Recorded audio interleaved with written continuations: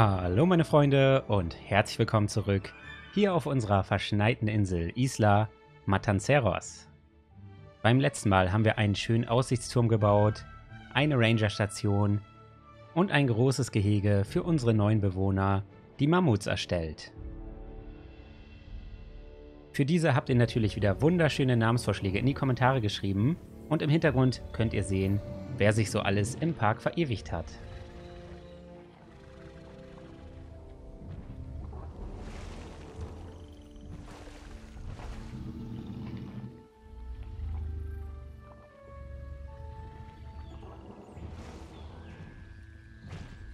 Vielen, vielen lieben Dank an euch alle fürs fleißige Liken und Kommentare schreiben in der letzten Folge. Und jetzt geht's weiter mit der Arctic Jurassic World. Und jetzt können wir uns wieder an die Arbeit machen für den dritten Teil von unserer Arctic Jurassic World. Ich habe schon wieder richtig Bock weiterzubauen, aber mir ist vorhin schon eine Sache aufgefallen. Denn die Mammuts haben die Möglichkeit, hier vorne aus dem Gehege auszubüchsen. Darum müssen wir uns unbedingt kümmern. Also hier ist auf jeden Fall der Bereich ja noch ein bisschen blöd. Also da müssen wir irgendwie den Zaun nochmal anders platzieren oder sowas. So, an dieser Stelle sieht es ganz gut aus. Da könnten wir es mal probieren. Jetzt müssen wir gleich nur noch eine vernünftige Kurve hinbekommen. Und dann könnte es sein, dass wir das Problem schon gelöst haben. Hat jetzt ja vom Gehege nicht sehr viel verändert. Ist alles noch entspannt. Alles noch aus wie vorher. Hier der Wald und so, der wird sowieso später nochmal überarbeitet ein bisschen. Weil hier vorne kommen ja logischerweise auch noch Sachen hin. Ich werde jetzt aber erstmal mich in diese Richtung begeben, weil dort werden wir weiterbauen. Deswegen mache ich jetzt erstmal hier ein ganzes Stück Wald weg, damit wir mal sehen, was für eine Fläche uns hier eigentlich zur Verfügung steht. Jetzt kann man wenigstens mal sehen, wo wir alles bauen können. Das ist schon noch eine ziemlich große Fläche, wie ich finde. Weil hier werden wir gleich den Weg weiterführen. Ich denke mal dann hier außen rum so ein bisschen. Hier wird wieder ein Gehege kommen. Und ich hoffe, hier kriegen wir auch noch irgendwie ein Gehege hin oder irgendwas in der Art. Wäre zumindest cool. Und da soll dann auch noch so eine Jurassic Tour am bestenfalls hin. Das wäre cool. Dass die dann einmal sich um diesen Felsen sozusagen rumherum schlängelt. Also hier einmal drumherum. Das ist der Plan durch alle drei Gehege. Das wäre echt cool. Mal schauen, ob wir das hinbekommen. So, das ist jetzt die Grundplanung. Also hier rechts kommt ein Gehege hin, hier kommt ein Gehege hin.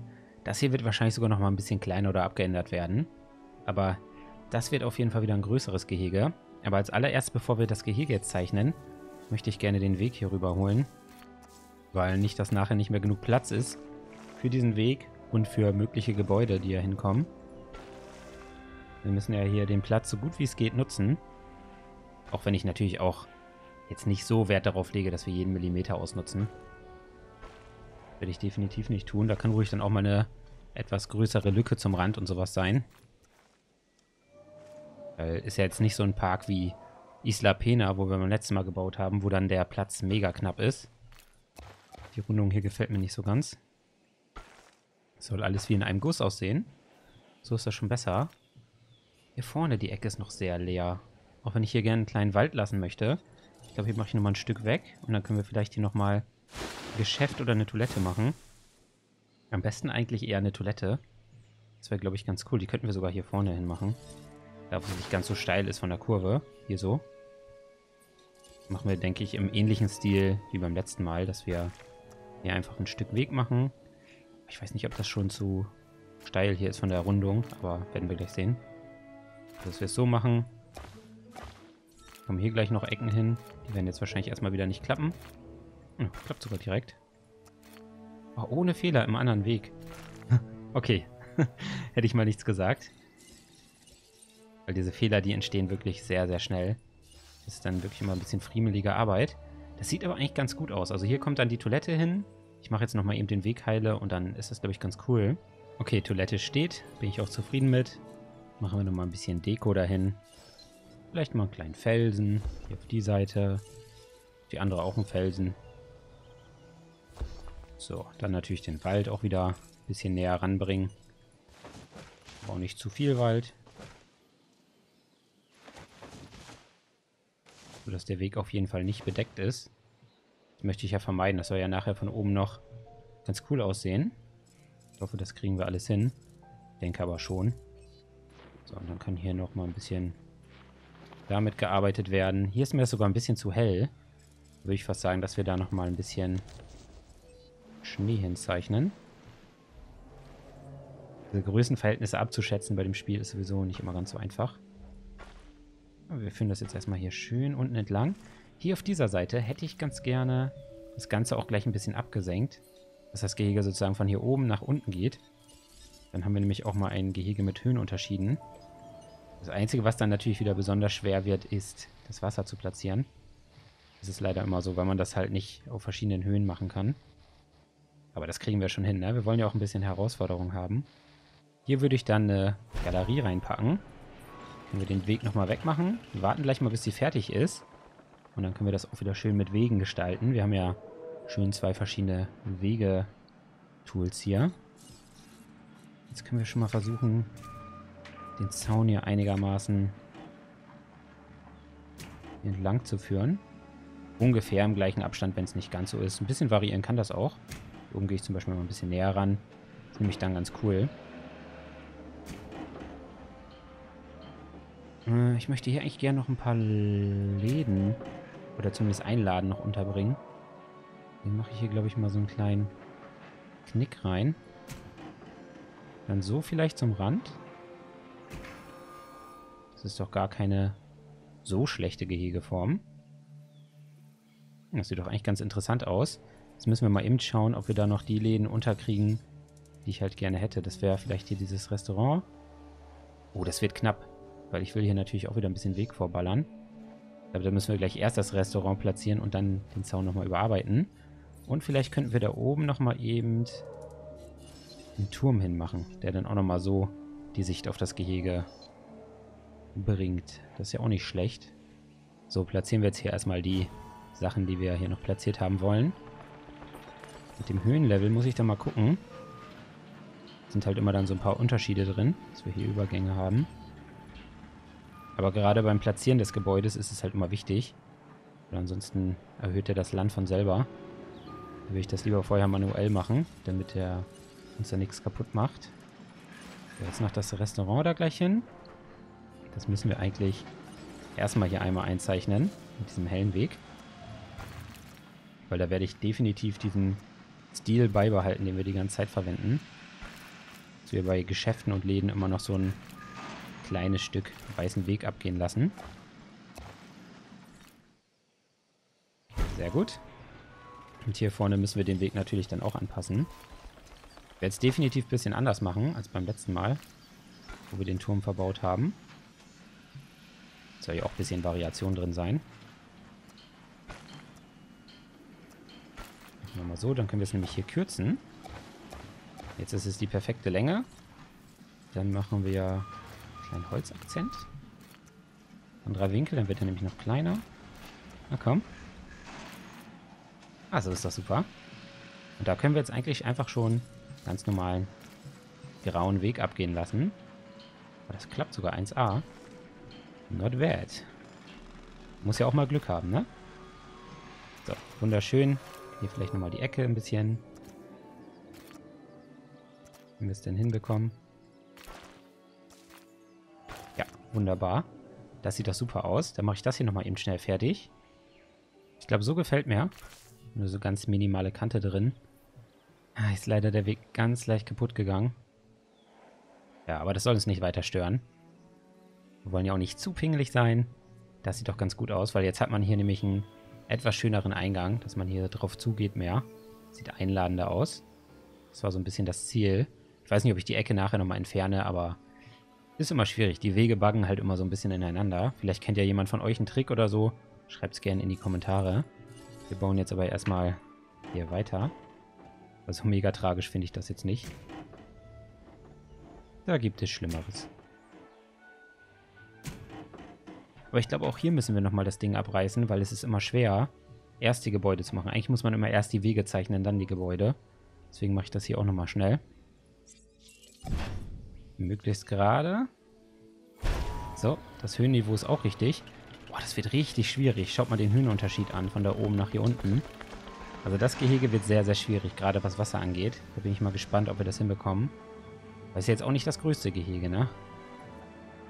Uff, müssen wir mal gucken. Da bin ich echt gespannt. Jetzt müssen wir da gleich noch große Umbauten machen. Habe ich eigentlich keine Lust zu. Ich das eigentlich ganz cool so finde. Dann müssen wir jetzt alles nochmal umplanen. Das geht nicht anders, aber das macht ja nichts. Das kriegen wir schon alles hin. So, die Gehegeform hat sich jetzt nochmal ganz leicht abgeändert. So sieht das Ganze aus. Wir müssen noch bedenken, hier muss auch noch ein Tor rein. Also Wasser muss hier rein, Tor muss hier rein. Das wird echt alles ziemlich schwierig, weil das Tor kann auch nur an einer geraden Stelle platziert werden. Ich kann mir das irgendwo... Eigentlich macht hier vorne am meisten Sinn. Ich glaube, das werde ich einfach direkt hierhin platzieren. Dann können wir das nämlich schon mal nicht mehr vergessen. Und jetzt müssen wir noch gucken, dass wir natürlich hier Wasser unterkriegen und das Ganze auch ein wenig besonders gestalten. Ich will das halt auch sehr hügelig und bergig machen, aber gerade bei solchen Gehegen ist halt Wasser schwierig.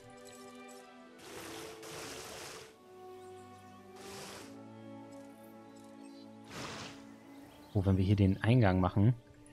Ah, das ist natürlich jetzt auch kritisch, ne, an dieser Stelle.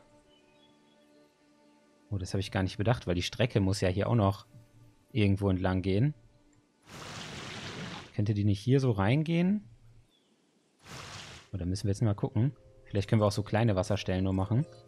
Und dann die Strecke hier so entlang schlängeln. Ich führe die mal schnell hier rein. Dann kommt hier der Eingang hin. Und dann würde die direkt hier eine Kurve fahren. Dann irgendwo hier vorne entlang, würde ich fast sagen. Den Rest müssen wir gleich mal gucken, je nachdem, wie wir das Gehege gestalten. Weil ich möchte dann noch einiges an Bergen und so Felsen und Hügeln reinmachen in dieses Gehege. Vielleicht können wir diesen Vorsprung hier so ein bisschen fortführen. Das würde ich cool finden. Der ist ja sowieso schon so ein bisschen gegeben. Und dann gleich auch noch ein bisschen mehr ausschmücken. Dass wir hier so ein Stück runter machen. Hier so ein bisschen uneben wird. Okay. Das wird ganz schön krass. Wird alles nicht so einfach werden. Aber wir kriegen das hin. Da hatten wir, glaube ich, schon schlimmere Probleme. Ich will halt hier wirklich so einen Vorsprung behalten. Und das wäre cool, wenn wir da jetzt noch sowas drauf platzieren könnten, dass das ein bisschen hügeliger gleich wirkt, ohne dass hier alles kaputt geht. Natürlich jetzt die oberste Priorität, weil ihr seht ja, das ähm, betrifft natürlich auch da unten das ganze Gelände, wenn ich hier oben was platziere. Ist ja leider immer so. Hier könnten wir dann einen Futterspender oben hin machen. Das wäre, glaube ich, echt cool. Wir hätten hier auch noch mal ein bisschen über. Okay. Das wird ein mittlerer Pflanzenfresser. Ich weiß nämlich schon, was hier reinkommt. In dieses Gehege. So, der passt auch da perfekt hin. Den kann man dann auch nur von oben sehen. Das finde ich ganz cool. Ich weiß auch noch nicht, ob ich den Zaun irgendwo durchsichtig mache an der einen oder anderen Stelle. Könnte ich mir auch noch vorstellen. So, und jetzt, vielleicht kriegen wir es hin. Ah, das wird... Dass wir hier einen Weg runter machen oder so? Oder hier vorne? Ah, das Wasser verschwindet. Ah, das wird jetzt ein Kampf mit dem Wasser. Eine ganz wichtige Sache habe ich vergessen zu bedenken, weil die Strecke muss ja noch nach hier oben. Und die muss wieder hier vorne irgendwo raus, also hier so, damit die hier weiter ins nächste Gehege kann. Und deswegen ist der Turm hier echt blöd platziert. Der muss auf jeden Fall nochmal ein Stück hier weiter rechts rüber damit wir hier hinten noch Platz für die Strecke haben. Das habe ich halt nicht bedacht, aber das werde ich jetzt nochmal eben fixen, bevor es zu spät ist. Am besten eben erst die Strecke einzeichnen. Dann können wir, glaube ich, nicht viel verkehrt machen. Ich glaube, ich fahre die, mit der Strecke hier richtig schön nah am Fels entlang. Sieht bestimmt dann cool aus von unten, wenn dann der die Trucks so noch so zu sehen sind durch die Lücken. Könnte ich mir vorstellen. Jetzt hier irgendwie einen eleganten Weg hoch. Das ist doch gar nicht so schlecht. Die Strecke nicht ganz gerade und so ist, das macht rein gar nichts. Die sieht man eh kaum. Hier geht es dann später rüber zum nächsten Gehege. Da kümmern wir uns dann wann anders drum. Für den Übergang noch ein bisschen schöner gestalten. Auch wenn wir dann nachher vielleicht keinen Buttertrog mehr hinbekommen. Das weiß ich noch nicht. Wäre zwar schade, aber ist jetzt auch nicht dramatisch. Den kann man auch noch woanders hin platzieren. Aber vielleicht könnte es noch klappen. Wäre natürlich ideal. Oh, das sieht gut aus. Oh ja. Sogar cool, wenn das Schöne an der Strecke hier ist. Sehr schön. Hier ist es auch nicht zu krass. Das geht alles noch. Kann man ja dann auch noch sicherlich ein bisschen nachhelfen mit Nacharbeiten hier mit Glätten und so. Vielleicht können wir das doch noch ein bisschen weiter durchziehen. Wir müssen halt gucken, wie es ist jetzt gleich mit dem Wasser da unten, dass das nicht alles verschwindet. Wir haben leider sehr wenige längliche Felsen. Das heißt, wir können da fast immer nur den einen Felsen nehmen und so an bestimmten Ecken nur ein bisschen variieren. Weil dieser Felsen ist eigentlich einfach Gold wert für solche Stellen, die man, wenn man die baut. Und das, der passt da perfekt rein. Okay, ich glaube, wir kriegen das relativ gut hin hier, trotz Höhenunterschieden. Kommt nochmal ein Futterspender hin, damit die Tierchen auch hier runterkommen und nicht nur da oben sind oder hier vorne. Und dann können auch die Besucher das an der Stelle sehen. Hier können wir es dann nochmal wieder ein bisschen felsiger gestalten. So, dass der Zaun möglichst noch gerade bleibt. Können wir dann wieder mit diesem Felsen das Ganze ähnlich machen wie an der anderen Stelle. Ah, das geht noch. Das ist noch in Ordnung. Hier ist natürlich jetzt wieder kritisch. Aber wenn da mal eine Lücke nicht ganz voll ist, dann macht das nichts. Sieht schon sehr gut aus, gefällt mir. Hinterher könnte man dann auch nochmal versuchen, irgendwas hinzubekommen. Aber erstmal wird jetzt hier grob übergepinselt. Alles, was felsig ist, wird auch schön felsig. Soll nämlich ein felsigeres Gehege werden als die anderen. Da könnt ihr auch wieder ein bisschen mehr übertreiben mit dem Pin Anpinseln. Das kann auch ruhig hier richtig schön weiß erstmal werden, das Gehege. Wir machen gleich mit dem Buschtool und dem Baumtool hier noch ein bisschen mehr Grüne hin. Hier unten sollten eigentlich auch nochmal ein paar Felsen ins Wasser.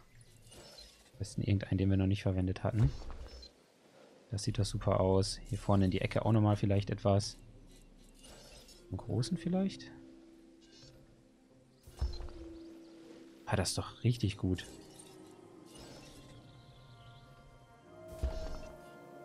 Okay, das ist jetzt ein richtig, richtig schönes, felsiges Gehege. Hier kann man auch nochmal einen Felsen hinmachen. Würde sich fast anbieten, wenn es passt. Ne, wird problematisch. Leider, leider nicht. Aber es macht nichts. Mehr, ich bin schon mehr als zufrieden gerade damit. Muss ich sagen. Hier kommt auch nochmal ein Felsen hin. Dann sieht es hier auch nochmal ein bisschen felsiger aus. Vom Übergang. Und jetzt können wir Wald machen. Ich denke mal, ich werde eine Mischung aus Redwood Trees und normalen Wald wieder machen. Oder machen wir nur Redwood Trees? Ja, mal schauen. Die passen hier eigentlich ziemlich gut rein, ne? Problem ist nur, dass die eigentlich auch nicht so für unebene Flächen geeignet sind. Habe jetzt extra gespeichert, jetzt zeige ich es euch nämlich. Weil die verändern auch natürlich die Landschaft unten drunter, weil die halt so ein ja, platzierbares Objekt sind. Ich werde es mal mit diesen Bäumen versuchen, weil optisch würden mir, glaube ich, besser gefallen. Aber wenn das gleich zu schwierig wird, dann werde ich das mit normalen Bäumen machen. Ich habe jetzt keine Lust, hier die ganze Zeit hin und her rumzuprobieren. Nur weil ständig der Boden angehoben wird und verändert wird. Okay. Ist an sich nicht schlecht, ne? Also bis jetzt gefällt mir das. Da muss aber auch noch einen hin. Ich kombiniere ja auch immer gerne große Bäume mit kleinen Bäumen. Ich finde, das sieht immer ein bisschen kahl aus, wenn da nur so ein großer Baum steht. Das ist doch gar nicht so schlecht geworden. Bin schon sehr zufrieden mit. Büsche holen natürlich jetzt auch nochmal ordentlich was raus, was Optik angeht. Hier vorne vor dem Tor macht nicht viel Sinn, weil wenn da regelmäßig Jeeps drüber fahren, ist da logischerweise nichts mehr, was da wächst. Ist dann eher genauso wie hier. Wenn da Dinosaurier hingehen oder oft rüberlaufen, dann ist natürlich so ein kleiner Trampelpfad da. Ich werde jetzt versuchen, ein bisschen dieses Steinterrain verschwinden zu lassen aber auch nicht zu sehr, ne? Es soll ja noch sehr felsig aussehen, das Gehege. Ja, zumindest das Ziel davon. Also hier schön an den Rändern und so kann man das gut machen. Ein oder andere Pflanze dazwischen auch. Okay, hier ist dann auch wieder nicht so nice. Ich werde gleich auch noch weitere Büsche nehmen. Die kann man ja auch mal gut kombinieren. Ja, hier soll nicht zu sehr sein. In den Bäumen ist immer schön. Ah, hier müssen wir nochmal überglätten. Sonst zu steil, wenn die da lang fahren. Jetzt können wir auch gerne nochmal die hier nehmen, weil die machen immer nochmal etwas größere Büsche damit rein. Ist auch immer ganz cool. Gerade hier beim Wasser finde ich das ganz schick. Es sieht doch schon nicht schlecht aus. Dafür, dass wir jetzt die Höhenunterschiede haben, Das ist dann mehr so ein eisiges Gehege mit nur ein paar Redwood Trees. Ich bin schon sehr zufrieden damit. Sieht auf jeden Fall anders aus als das, was wir vorher gebaut hatten. Okay, jetzt wird es wieder spannend, Leute. Jetzt müssen wir nämlich den Weg ins schon fertige Mammutgehege machen. Ich hoffe, wir müssen hier nicht so viel kaputt machen, weil ich sehr, sehr zufrieden mit diesem Gehege bin. Mal gucken, ob wir hier die Strecke vernünftig durchgeführt kriegen. Das wäre super. Das sieht, glaube ich, ganz gut aus. Na, hier wird es ein bisschen schwierig. Ich hoffe, das ist gleich nicht zu steil. An sich, wenn wir hier so außen rum düsen. Geht alles noch, ne? Ist jetzt, glaube ich, echt nicht zu steil. Das ist ja super. Müssen wir nur da hinten wieder rauskommen. Das hier zu steil? Nee. Das ist alles super. Oh, wow. Okay, das hätte ich nicht gedacht. Und die Mammut scheinen jetzt auch nicht mehr auszubüchsen. oh, das klappt auch. Aber wie gut. Okay, das ist ja mega. Okay. Wir haben einen Weg durchs Mammutgehege, ohne was umzuändern. Okay, jetzt bin ich gerade ein bisschen gebufft. Das hätte ich nicht gedacht. Ich hätte gedacht, wir müssen zumindest irgendwas noch ändern. Aber jetzt haben wir die beiden Gehege schon mal komplett mit einer Strecke fertig. Das ist ja super. Das dritte Gehege machen wir dann in der nächsten Folge. Da kommt dann nämlich nochmal ein kleineres Gehege hier vorne hin mit einem kleineren Tier. Aber ich bin gerade wirklich glücklich. Ich werde jetzt nochmal eben schnell den Turm hier wieder hinbauen und dann ein bisschen Wald und drumherum gestalten. Und dann können wir schon die nächsten Tiere freilassen. Drumherum habe ich das Ganze jetzt auch nicht zu doll bepflanzt. Sieht jetzt so aus. Ich finde, das sieht schon echt cool aus. Äh, ich bin noch am überlegen, ob wir hier noch die ein oder andere Stelle mit einem anderen Sound versehen. Man dann nochmal durchblicken kann. Hier zum Beispiel dieses Stück. Ist mir das zu groß? Ist eigentlich gar nicht so schlecht. Die Dinosaurier, die da reinkommen, die brüten übrigens gerade schon. Die werdet ihr gleich auch zu Gesicht bekommen. Und vielleicht kann dann ja auch wieder der ein oder andere dem einen schönen Namen geben. Ihr kennt ja das Spiel. Ich freue mich da mal mega drüber dass ihr so Lust habt, in meinem Park verewigt zu sein. Das ist mir eine Ehre. Ich wundere mich gerade, warum es nicht geht. Das ist halt der gleiche Zaun. So, dann haben wir da nämlich nochmal Gucklöcher, wo die Leute dann auch so durchgucken können. Und hier vorne das Ganze müssen wir natürlich auch noch gestalten. Hier fahren ja dann die Jeeps los in diese Richtung. Hm, wie mache ich das denn? Erstmal muss ich hier wieder den Weg machen. Hier werde ich das Ding aber jetzt nicht abreißen. Da müssen wir jetzt im Nachhinein den Weg machen. Das macht rein gar nichts. Ich glaube, hier mache ich das auch eher einfach mal relativ simpel einfach so rein. Das passt doch. Und hier können wir dann auch noch mal mit einem kleinen Zaun gestalten. Ah, der geht hier sogar ab. Das habe ich ganz vergessen. Aber man kann die nicht nach vorne connecten. Das ist ja doof. Ich hätte gern direkt hier an der Schiene entlang geführt, das Ganze. Ich kann das leider nur so machen. Ist aber auch nicht schlecht. Hat man dann nämlich auch nochmal eine Abgrenzung. Und nach hinten könnten wir sogar mit diesem Zaun das Ganze auch noch verbinden. Und das hier sind unsere neuen Bewohner für unsere Arctic Jurassic World. Wunder, wunderschöne Tierchen. Die auch wunderbar in unsere eisige Welt hier passen. Nämlich Wolly Rhinos. Nein, kein Torosaurus. Ein Wolly Rhino. Sehen die nicht wundervoll aus? Ich würde mich natürlich wieder sehr über tolle Namen für diese freuen. Ich werde davon sechs Stück machen.